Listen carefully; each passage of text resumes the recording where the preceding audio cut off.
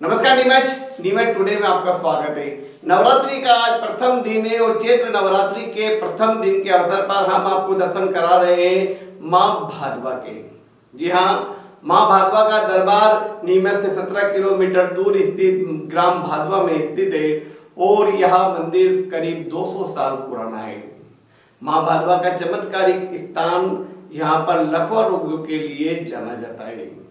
जो लोग लगभग ग्रसित होकर आते हैं, वे माँ भादवा के दरबार में रहते हैं और वे पूर्णता से स्वस्थ होकर जाते हैं। ऐसा कहा जाता है कि माँ भादवा के पानी से स्नान करने से शरीर के सारे कष्ट मिट जाते हैं। यहाँ पर चमत्कार देखा जाता है। कोई रगड़ कर चलते, कोई रगड़ते हुए आता है तो कोई घसीटते हुए आता है और कोई रेंगते हुए आता है। लेकिन माँ भादवा के दरबार में रहने के बाद वह पूर्णतः स्वस्थ होकर अपने पैरों पर चल कर जाता है।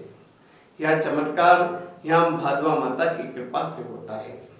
भादवा माता का मंदिर पूरे देश में प्रसिद्ध है और मालवा मेवाड़ की वैष्णो देवी के नाम से यह मंदिर जाना जाता है।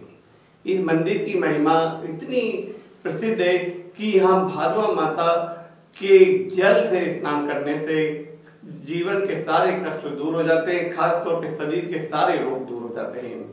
साल की दोनों नवरात्रि पर यहाँ मेले का आयोजन होता है और इन मेले में करीब करीब 50 से साठ हज़ार लोग पहुँचते हैं और खास तौर पर दुर्गा अष्टमी के दिन महायज्ञ होता है और नीमच, मनासा, जावर, मंदसौर से हज़ारों श्रद्धालु दुर्गा अष्टमी की रात भर पैदल चलते हैं। माँ के महायज्ञ में भाग लेते हैं और माँ के दर्शन कर धन्य हो जाते हैं। माँ भादवा रानी के पानी की महिमा ऐसी है, जिसको लेकर प्रसिद्ध कवि बाल कवि बैरागी ने दो लाइन लिखी थी कि, हे भादवा रानी, थारो अमृत है पानी। जी हाँ भादवा माँ का जो पानी है, वह अमृत के समान है, जिसके नहाने से, जिसके स्पर्श करने से शरीर के कष्ट दूर होते हैं।